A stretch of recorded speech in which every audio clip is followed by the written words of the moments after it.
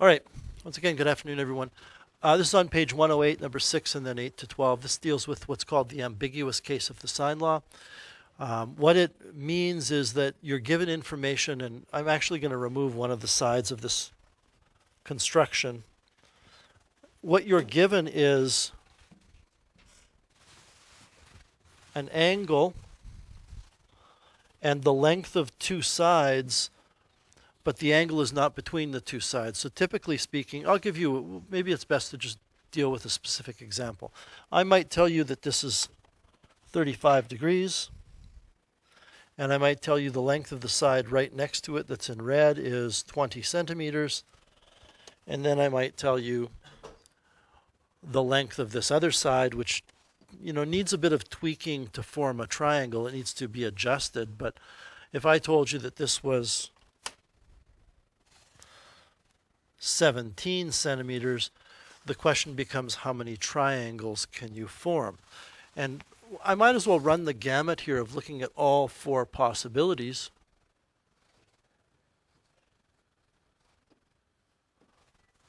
You know, the question is if it's 17, how many different triangles are there? If it's 8, how many different triangles are there? And I'm not going to redraw that line so that it looks 8. I'm just going to say it's 8. You have to decide for yourself how you're going to cope with that. Uh, on the other hand, we could have, I regret choosing 35 degrees. I'm going to change it to 30 degrees. How many of you see why I want to use 30 degrees? It gives a height that's a nice number, right? I was going to just go to a calculator and calculate what the height is here, but um, it's going to be decimals and we're going to have a awkward moment of trying to explain what's going on on your calculator. I want it to be exactly a certain number. So this is 30. This is 30. So the question is, if it's 17, if that side across from the 30 degrees is 17 centimeters, how many different triangles can you have? If, on the other hand, that side across is 8, how many can you have? If that side across from the 30 is exactly 10, how many can you have? And if that side across from the 30 degrees is 24, how many can you have? And I'm just curious, by a show of hands, how many of you understand without a doubt that there are no triangles possible here? Doesn't even require much thought. The reason is is that dangling side is going to be less than the height. If you were to calculate the height of that triangle, which I'm going to highlight in blue, if you were to calculate this height, well, we can calculate it. Looking at the blue triangle, looking at the blue triangle, I can use sine of 30 degrees equals opposite, which is the height of the triangle, over hypotenuse, which is 20. So the height is 20 sine 30. And because you've been taught that the sine of 30 degrees is exactly a half, whether you remember it or not is a different story, but because you're taught it's a half, that means that this height is 10. So there are no triangles here because 8 is less than 10. I hope many of you understand that in this particular case, there will be one triangle and it will be a right triangle because that hanging side or dangling side is exactly equal to the height. If I were to swing it around without changing its length, it would connect with the bottom of the triangle in one place. I hope many of you understand that you're going to get two triangles here. One triangle is formed when that dangling side first connects with the base, creating a, an angle in the bottom right corner of the triangle that's less than 90, but if you keep going, it's going to connect with the base in a different place, making that angle in the triangle more than 90. And finally, I hope you can appreciate that there would be one triangle here, but it would not be a right triangle because that dangling side is more than the 20. So without getting into the A, B, C thing, trying to make it more general, the reason why here you have two triangles, you have two triangles because 17 is smaller than 20 but bigger than the height of 10. I mean, I guess I could put 10 there. I just would want to include it in this diagram to make sure you know what I mean. That's why there's two triangles. In this case, there are zero triangles because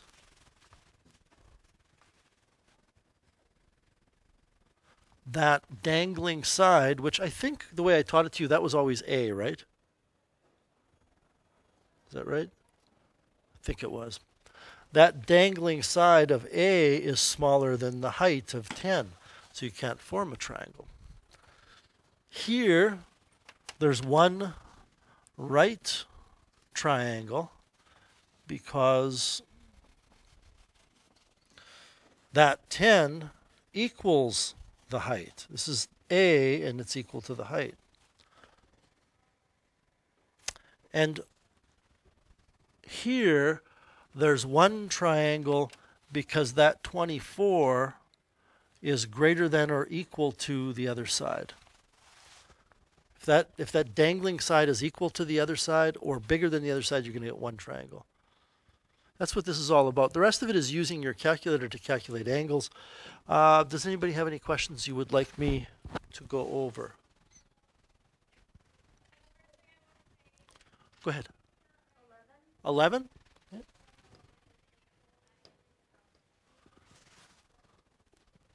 This is a really good illustration of the calculation aspect to the ambiguous case of the sine law.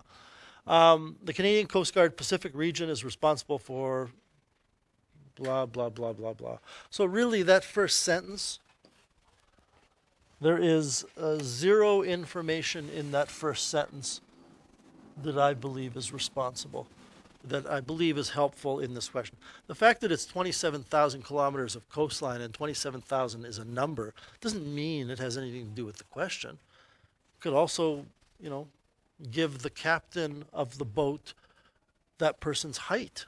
Doesn't mean we're going to use it. Um, the rotating spotlight from the ship can illuminate a total distance up to 250 meters. What this means is and, and I think you kind of get the idea here. If you're driving at night and it's a little bit foggy, you, you can really notice this. Your headlights will light up the road. Doesn't even have to be foggy. But even though I might be driving through Saskatchewan and I'm on a very, very straight road and my headlights are on, that doesn't mean it's lighting up the road a mile away. It only lights up a certain distance. And they're saying the distance is 250 meters. So what we have here is a beam of light that hits the shore there. And that that beam of light is on a little rotating thing and it rotates. So this is spinning around. But the only problem is it can't light up the ground over here because this maximum distance is always 250. So I hope you understand that this is like our dangling side. And it will connect here to form a triangle from the observer to that point where the light hits. And then this is going to sweep in this direction and it will be lighting up. I better do it this way. It will be lighting up the shore everywhere here. But as soon as this line passes point A, I'm assuming it's rotating clockwise in my diagram, then this will not be lit up. So if this were a prison spotlight and you were you know trying to escape from the prison by getting against the wall, you'd be fine over here. You'd be fine over here. You'd be fine over here, but you wouldn't be fine anywhere here. So that's the setup. Now the question is, what's that distance? What is the length of shoreline illuminated by the spotlight? So what we're going to do here, everybody, and this is a really good, I think this is a really good written response question, is we're going to look at two triangles. Well, there's lots of ways to do it. I'm going to look at this triangle.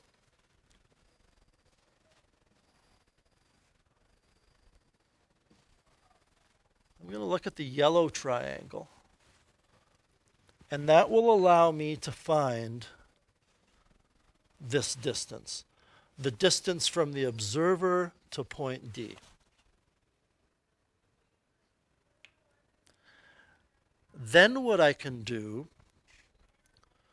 is use, uh, there's lots of things you can do here. I'm going to use now this triangle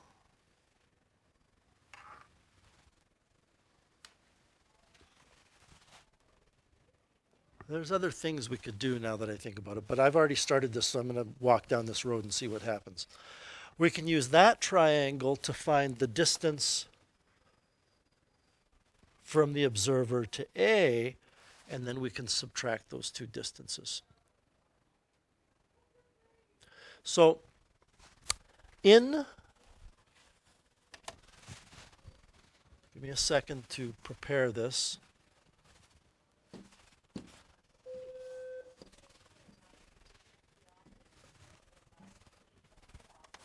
In this triangle, we know that this is 250, this is 20 degrees, and this is 500. That's enough for us to find anything else out about that triangle because we have an angle pair, an angle side pair.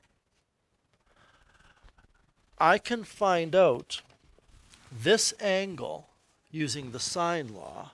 Then once I know that angle, I can determine this angle. I'm going to call it beta using the sine law. And then once we figure out what beta is, I can find this distance, which I've called OD, using the sine law. If you knew the cosine law, there might be a quicker, slicker way of getting to the answer here, but we don't.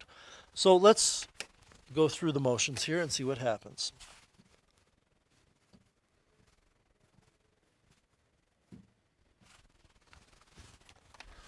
I can write sine of 20 degrees over, this should be 250, right? My brain skipped a beat there over 250 meters equals 500, whoops, equals sine of theta over 500. Uh, you want to be very careful here, and I don't know if anybody's noticed this, but 250 is exactly half of 500. That doesn't mean the angle is going to be twice as great or anything. Trigonometry doesn't work that way. So I'm, I'm at the stage now, everybody in this course, where I should be able to say to you, solve for theta. And, and everybody should be almost at the stage where you don't even need to write anything down here to find out what theta is. I'm going to take 500 times sine of 20 degrees. Just do a quick mode check.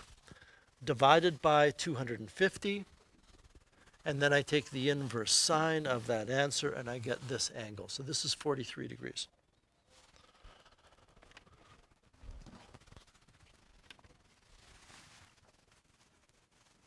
I can easily find what I've labeled as angle beta now because I know two of the three angles in the triangle. So I can take the 43 plus the 60, which gives me, sorry, I can take the 43 plus the 20, which gives me 63. So it must be 127. I, I don't know. Am I off by 10 degrees again? 117? Really? Okay. Man, I can't I can't fix that part of my brain. Uh, and if you want to carry all your decimals, you can, but I'm just going to write down 117 here. And now I'm back into the sine law mode, so I can say that side OD over sine of the 117 equals 250 over sine 20 degrees.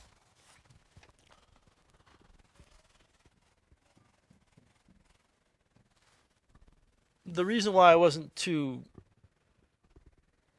picky about writing down the exact value is I know it's on my calculator, so I can carry all my decimals here. What do I need to do? I need to take 250 times that, times sine of that, and divide by sine of 20. So we know that total distance along the bottom is 652 meters. Okay, well, that's a start. Don't forget we're finding that because if that's 652 meters, and we determine what this distance is in meters, we can subtract them. So now what we're going to do, and this is interesting, now what we're going to do is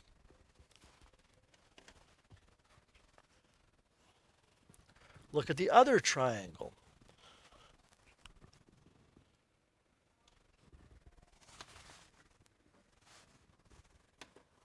And the other triangle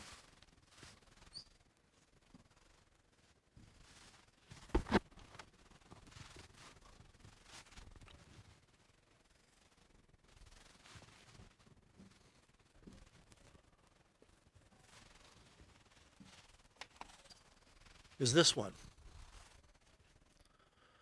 Now, what you would normally do is the same thing we did for the first triangle, which would be to say, you would say this is 250, uh, this is 500, this is 20 degrees, and you would work on finding this angle using the sine law.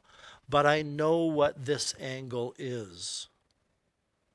And the reason I know what that angle is is because I've already determined that this is 43 degrees.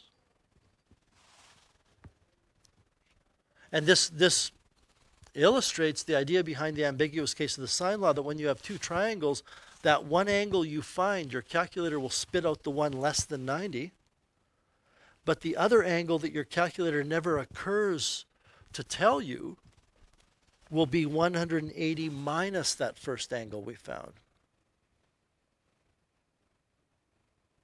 In other words, this is the 43 degrees we found, which was angle B in the first triangle. Angle B in the second triangle is this angle, and those two have to add up to 180. There's no way for you on your calculator to get, let's get it out of the way first. 180 minus 43 is 137? Yes. It's 137 degrees. There's no way for you to go inverse sine on your calculator and expect it to spit out 137. What you would do here, if you wanted to find angle B, which is theta, is you would do this exact same thing that we did with the other triangle, right? And what's your what's your calculator tell you? It tells you 43 degrees. But you have to be savvy enough to know that if this is bigger than 90, the angle is actually going to be 180 minus that angle your calculator spits out. So now what we're dealing with, can't believe I forgot it, 137? 137 is this situation. And now, in order to find out this distance, which is OA, we can figure out what the missing angle is first and get 23 degrees by adding them up and taking the total out of 180. So it's 23 there are some decimals here involved, but my I think my job right now primarily is not about carrying all those decimals. It's about answering your question. So now in the second triangle, everything above this line is the first triangle. In the second triangle, I can write OA over sine 23 equals 250 over sine 20 degrees solve for OA, then take it away from the 652 meters to give us the distance of the shoreline.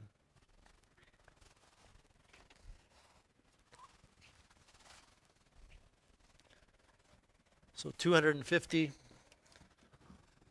sine 23 divided by sine of 20 gives me 285 or 286 roughly meters. 285.6. And you can see that this thick red line, I'm just highlighting it in case somebody's watching this on video later, is the difference between the 652 and the 286. And that will give you the answer.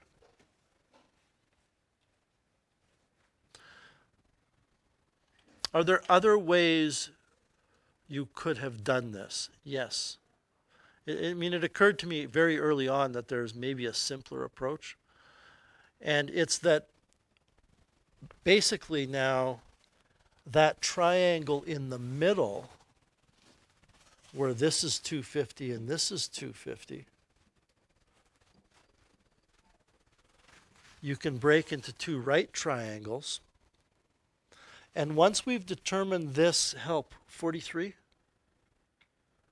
once you've determined this is 43 degrees you could simply use regular run-of-the-mill SOHCAHTOA with the right angle triangle to determine this and then double it to determine the length of the shoreline that's lit up as the light sweeps around. Any other questions?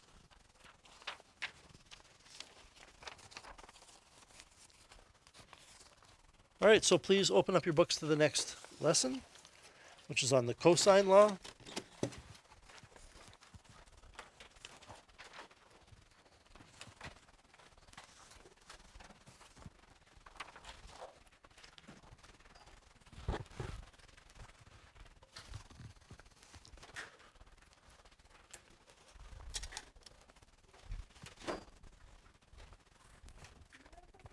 calculator charger that I could plug it into just while you teach? Say it again. Do you have a calculator charger that I could plug I do. I, I'll plug it in for you.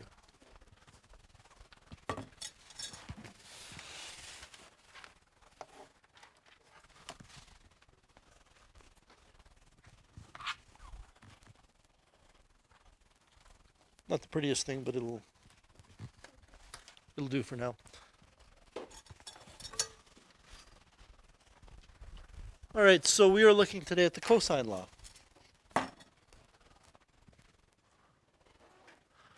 And a couple of notes here, just as a general introduction. We learned that you can use the sine law as long as you know a quote side angle pair. What does that mean? It means you know the length of a side and the angle across from it. And as long as you know one other piece of information, then you can find the missing half of the other pair. But you have to know A and A or B and B or C and C, capital C and lowercase c. But if you have a triangle in which you know all three sides, so if you have a triangle in which you know all three sides, that is to say, you know this, you know this, and you know this, the triangle has particular angles. If I gave you a piece of wood that was eight centimeters long, and another one that was seven centimeters long, and another one that was six centimeters long, and I said, make a triangle, you'll all get the same triangle. Now, some of yours may be mirror images, like they might be kind of flipped over, but the angles are going to be the same. Um, the angle between the two longest sides is going to be the smallest angle. And it doesn't matter how you put it together, you'll get that angle. So, this is what we refer to as a side, side, side situation.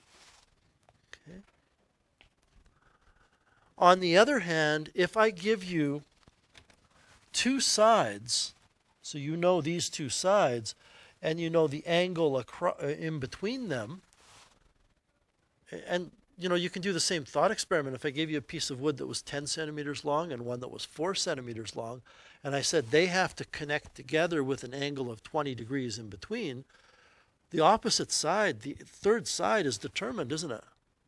There's no there's no decision about that.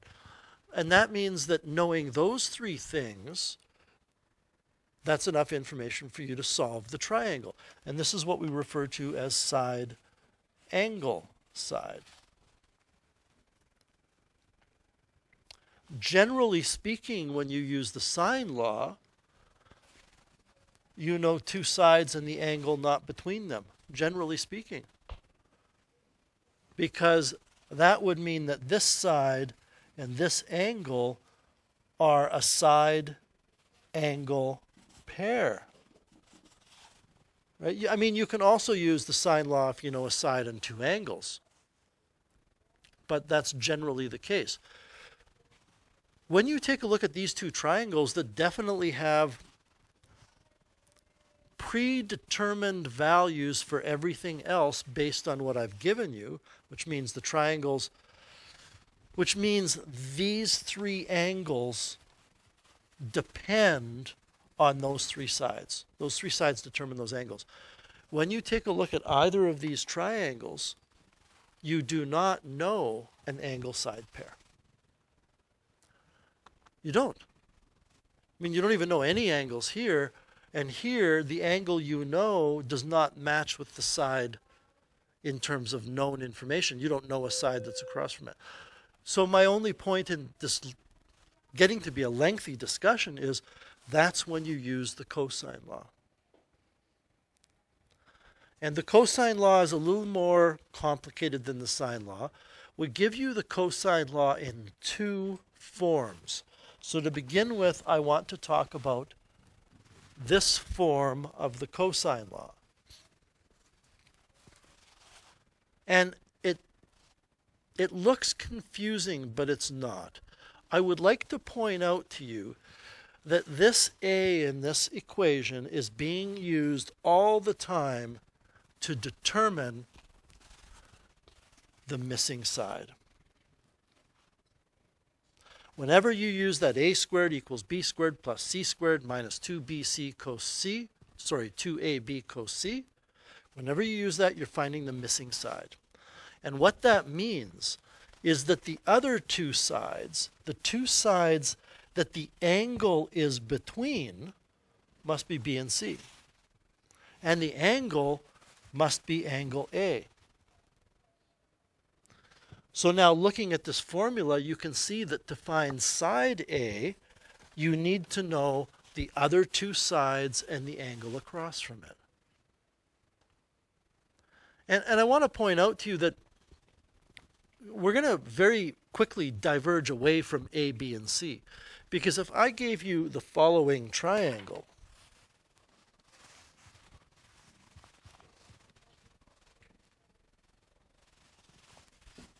and said find x, there's no a, b, or c. But look at the cosine law in your notes right now. And, and you're going to have to you know, swap your attention between that and what's up here. The cosine law that I've highlighted, this one, is to find a missing side. So we would put missing side squared equals, now what's next in the cosine law? The square of b plus the square of c. That just means 12 squared plus 10 squared. It's the square of the other sides. It's all it's just so close to being the Pythagorean theorem, but it isn't. And then what's the next part in the cosine law? Minus 2bc. Well, that's 2 times 12 times 10. Cosine angle A, that's 70 degrees.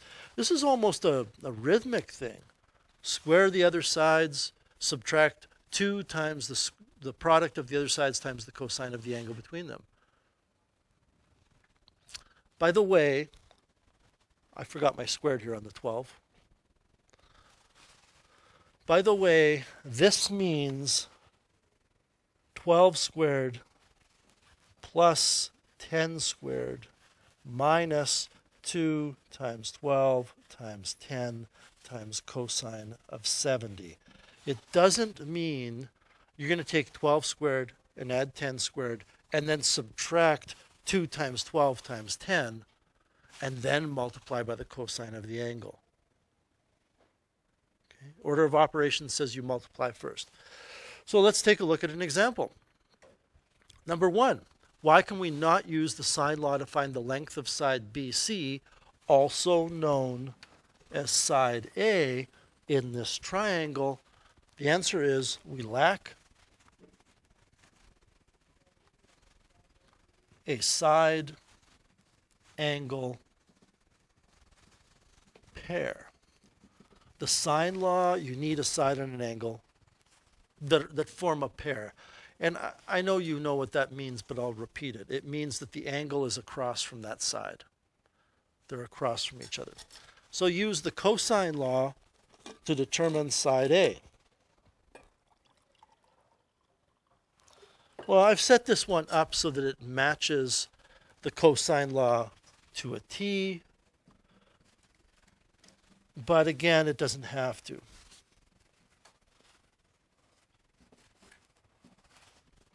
We put the numbers in. Um, this is C. This is B.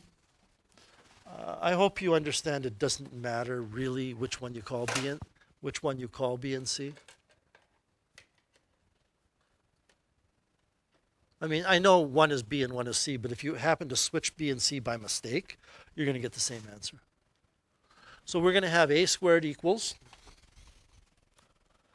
B squared, which would be 10.4 squared, plus C squared, which is 21.9 squared, minus 2 times B, which is 10.4, times 21.9, that's C, times the cosine of angle A. And I just noticed I do have a typing mistake, or not a typing, a writing mistake here. How many of you see what I wrote wrong? What is it, Lucas? Right, I forgot the C, and I think that's because I started writing C and then I went, oh, cos. But there should be a C wedged in between the B and the cos A. And this is, by the way, why we very frequently with the cosine law write capital C for cos, I think. Um, we're pretty much done here. I mean, not yet, but we can put this into our calculator. 10.4 squared plus 21.9 squared. I, I, that's how I'm entering squared. You could hit the square key. Minus 2 times 21.9 times 10.4 cos 47. Now, there you go. I just I entered the B and C in the different order than I have them written down. But before I hit enter and finish off this problem, I need you to understand two very common errors, and I catch myself making them. One is to put plus instead of minus. I, I don't know why it's a common mistake. I remember a couple of years ago I was teaching and I got through the whole lesson and I was going plus, and I knew it was minus. The other common mistake is forgetting about that 2. Really easy to forget that too. Uh, 10.4 squared, I'm just double checking my entry. 21.9 squared minus 2 times the product of those cos 47. I hit equals. Now this is not side A. That's A squared, right? A squared equals 277.1.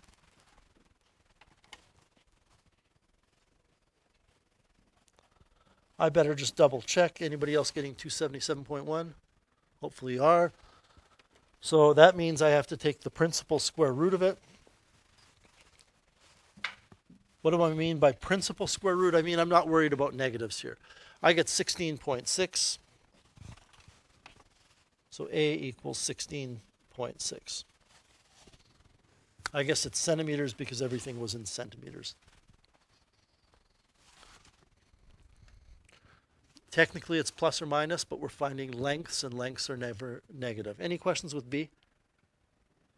All right. In this triangle, we have side A is 11, side B is 5, angle C is 20. So before we sketch the diagram, look at that list of three items. You're given side A, side B, and angle C. Do you see that angle C has to be between sides A and B? So, I mean, if we draw this, we can demonstrate that. Uh, it doesn't really matter how we draw it. This is A equals 11. Well, it doesn't matter how we draw it. It doesn't matter the orientation of our diagram. I could have drawn A to be a vertical line.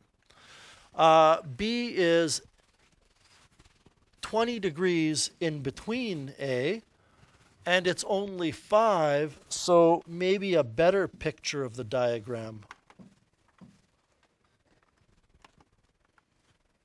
would be that. I mean, if the bottom of this triangle is 11, then 5 is about half of that. So, looking at this, and I- I hope that many of you wouldn't need to do this to answer the question what's, the, what's this angle? This is angle C. Because across from side B is angle B, across from side A is angle A. This question now is no different than the one we just did. So I would like everybody to apply the cosine law to this and get an answer.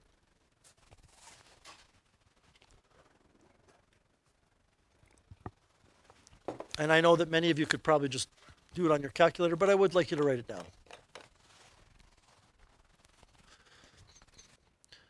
Is that better? Okay, so rookie mistake. I can't believe I did that.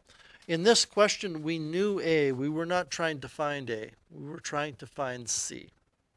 Strangely enough, I bet most of you got the answer to the question anyway, right? Okay. Um, so now we know side C. We're asked to solve this triangle. Okay. Now I'm going to work on finding angle B first, and I have to use the sine law. Okay. I, I don't have a cosine law formula yet. I'm going to explain it to you to find an angle. But I'm going to use the sine law to find angle B. And I can write sine of B over 5 equals sine of 20 over that 6.5 that we found.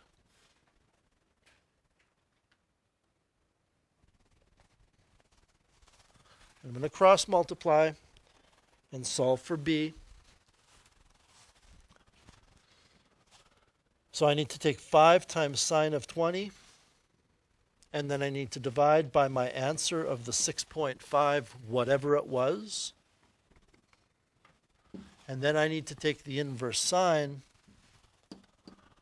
So angle B is a puny 15.2 degrees. So I'm going to write my numbers up here in green for the answers. We've got 6.5 approximately. We have 15 degrees approximately. So to find this angle now, angle A, is really easy. We're going to go 180 and subtract the 35 and get 145.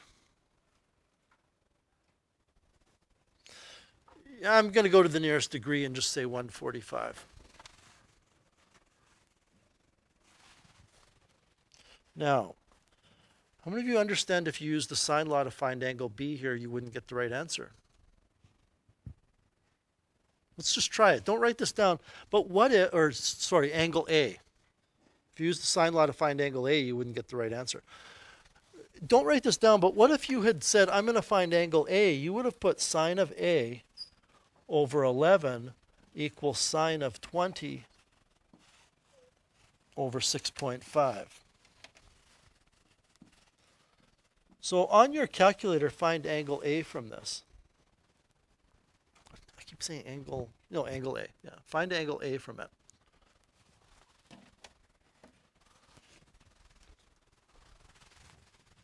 So I guess I'm going to go 11 sine 20, divide that by 6.5, and take the inverse sine of the answer, and we get 35 degrees. But the angle is 100 and 45.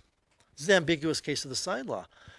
It's actually 180 minus 35 is the answer. And I'm going to tell you right now, you would never realize that. If you use the sine law to find an angle that's bigger than 90 and you don't know it's bigger than 90, you're hooped.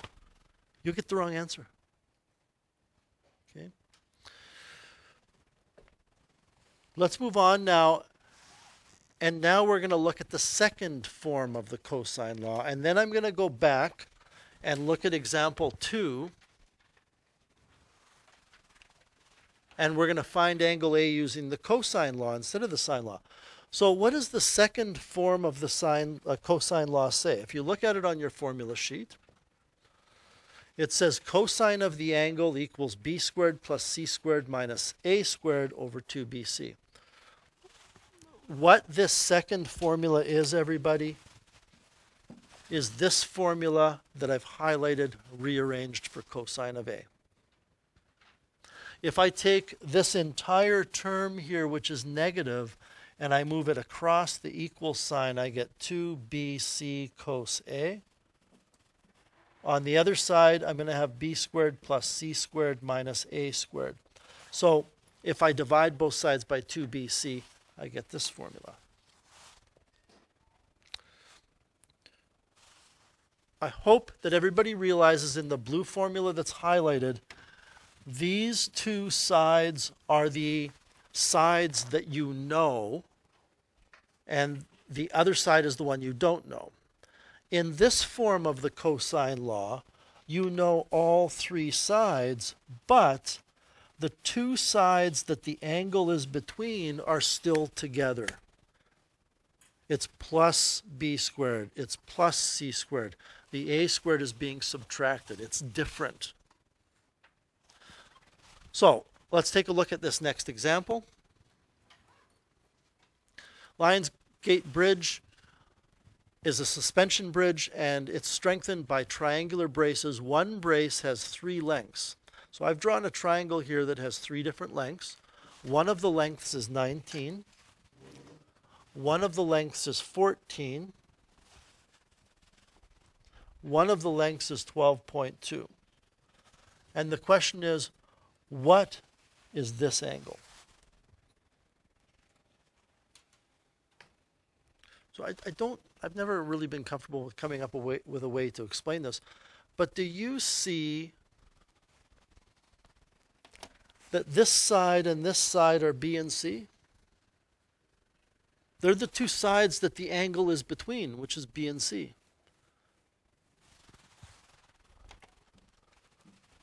So this is B, this is C, and this is A, which makes the angle we're trying to find, angle A, which fits that other version of the cosine law.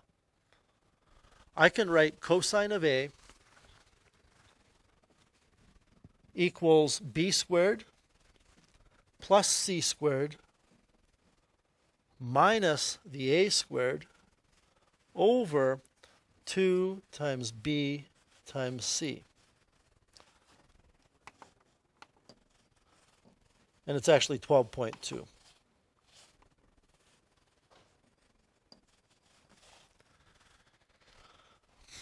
So as a first step, I would like everybody to calculate what that whole thing is equal to before we take the inverse cosine.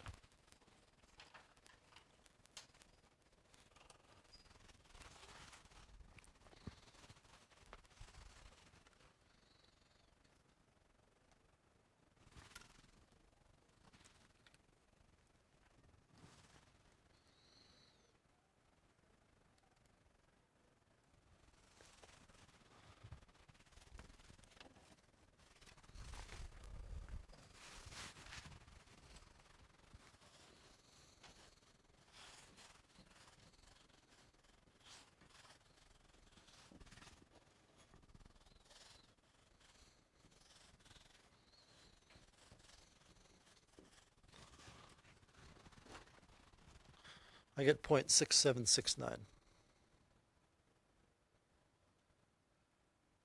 Now, anybody else get that? I can tell a lot of you didn't. I can tell by the expressions on your faces.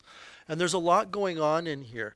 First of all, a very common mistake, we'll come back to that in a second, would be to say 19 squared plus 12.2 squared plus, no, sorry, minus 14 squared and then go divided by.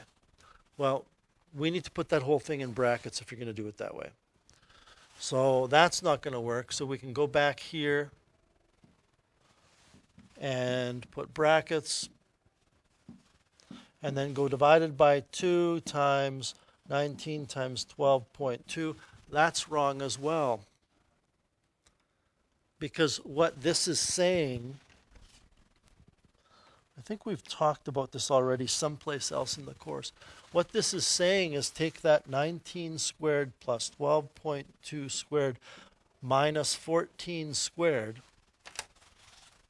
minus 14 squared divided by 2 times, even if you put this in brackets, you're going to be dividing it by 2, and then you're going to be multiplying by 19 and by 12.2. We want to divide by 2 times 12.2 times 19.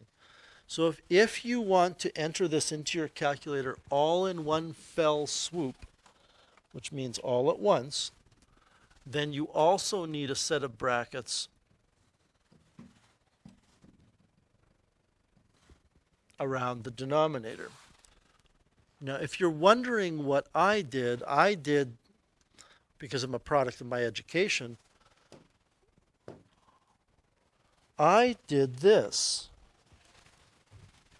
I took 19 squared and I added 12.2 squared and I subtracted 14 squared. And when I was taught to use a calculator, we didn't have screens that you could look at. I mean, they were nice calculators. It wasn't like we were using a you know, abacus or counting stones or something. We, we had calculators.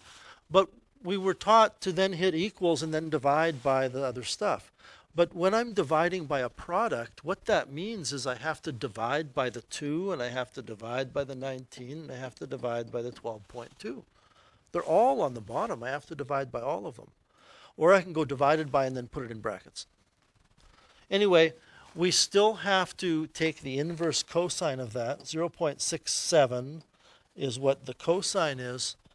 So inverse cos of the answer gives us an angle of 47 degrees. That's the answer. Any questions with that example? Okay, I'm going to change the lesson here. Let's just talk about number four. I'm not even going to set up anything in number four. Number four says solve this triangle. So what that would mean is you would have to use, looking at this triangle, I hope you see you would have to use the cosine law to find the side across from there. Once you know that, you've opened up the door to use the sine law to find another angle. And once you know the other angle, well, then you can find the third angle by adding them up and taking them away from 180. If I say solve this triangle, and I think yours says 30 up top, right? Okay. You're going to use the cosine law to find an angle. Once you know an angle, you've opened the door to use the sine law to find anything else. You still with me? Okay. So we're not going to do that, but what I am going to do instead is I'm going to go back to number two. And remember when I said if you would have used the sine law to find A before we knew B, you would get the wrong answer? Let's look at what happens here if you use the cosine law to find that missing side C. And now let's find angle A, which the sine law fails us on. Let's use the cosine law to find angle A. So in the cosine law, cosine of angle A equals, well, these are the two oddball sides that form angle A. So they're the ones that I'm going to square. It's the other one I'm going to subtract. And then I have to divide by 2 times the 5 times the 6.5. And I'm going to take a minute to get that 6.5 on my calculator again.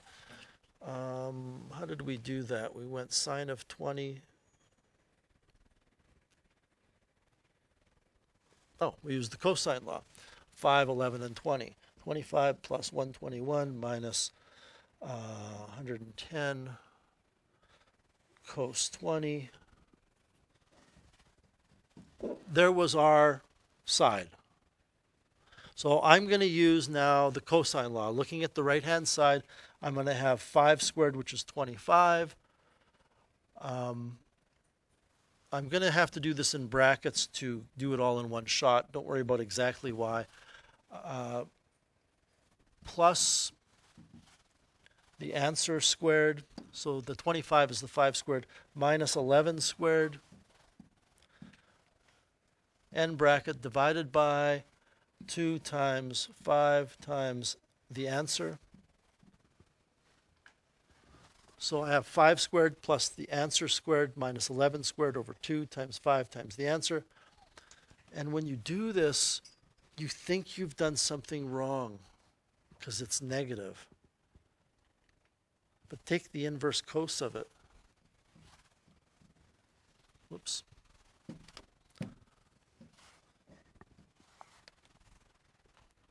The cosine law will give you an angle greater than 90 if the angle is greater than 90. It will never, ever let you down. The sine law has a big gaping hole in it that it fails when it comes to an ambiguous triangle. The cosine law, nothing's ambiguous about it. It will give you the answer. Okay. So I'm going to hand out your next assignment right now. I'm going to say a couple of things briefly about it, and then you're going to get to work on well, the assignment and the cosine law problems.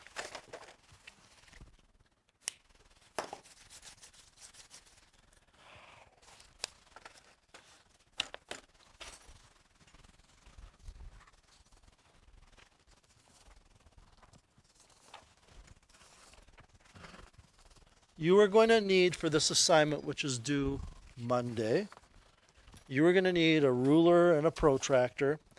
And I'm going to be expecting a nice, not a nice, wrong word. I'm going to be expecting very precise work. You're going to be drawing a triangle and doing some measurements on the triangle. So your measurements have to be done well, precisely.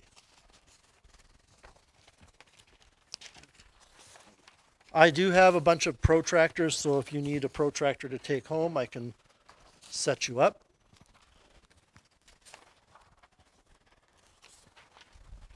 I'm not going to walk you through each step of the assignment. It tells you in each part of the question what exactly you're supposed to do. And I don't want you to draw anything on the assignment until I'm done with my explanation. What I would like you to do is look at the back page of the assignment. I'm going to pull up mine up here.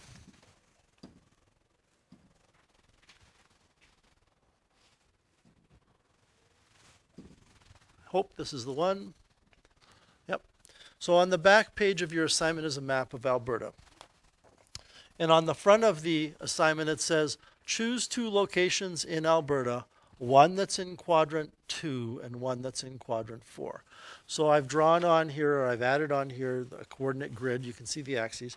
You need to pick something that's in this quadrant, the northeastern quadrant, and the southwestern quadrant. I don't want you to pick it yet. But what you are going to be doing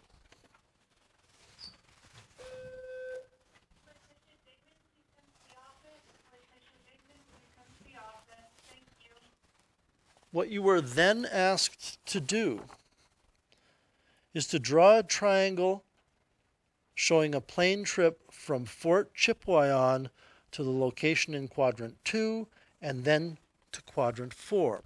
And you're going to be constructing a triangle. Where's Fort Chip?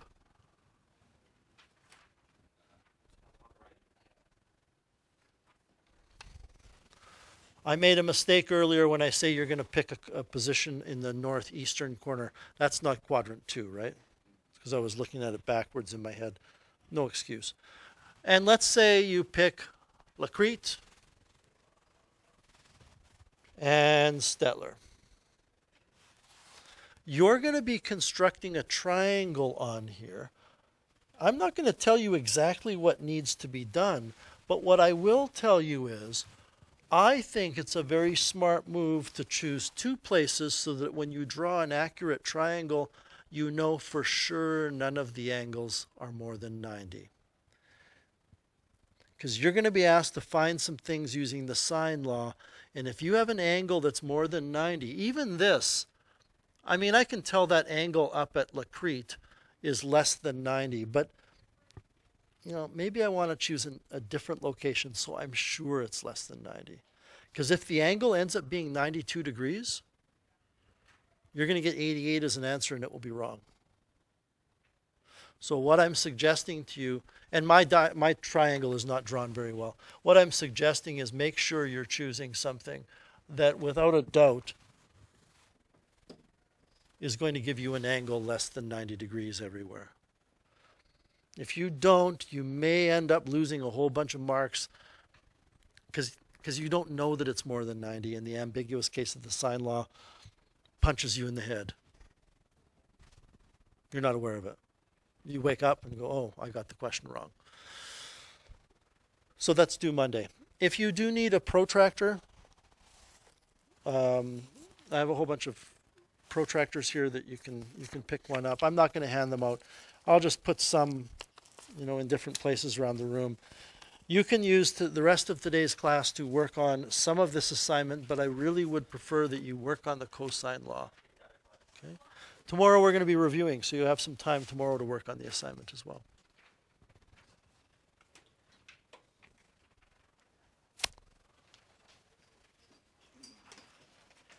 All right, uh, get to work. I need to take my attendance, do a couple of other quick things, and then I will be around to help you out.